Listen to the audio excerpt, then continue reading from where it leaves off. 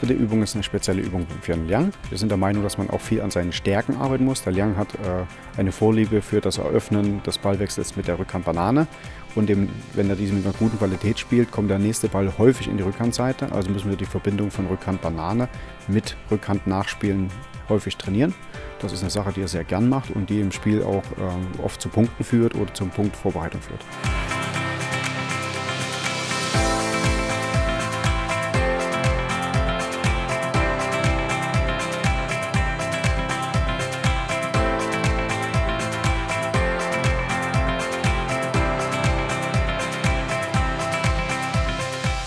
Die letzte Übung habe ich gespielt, weil ich im Spiel oft mit der Rückhand das Spiel aufmache beim Rückschlag und deswegen diese Spielsituation halt dementsprechend oft vorkommt im Spiel.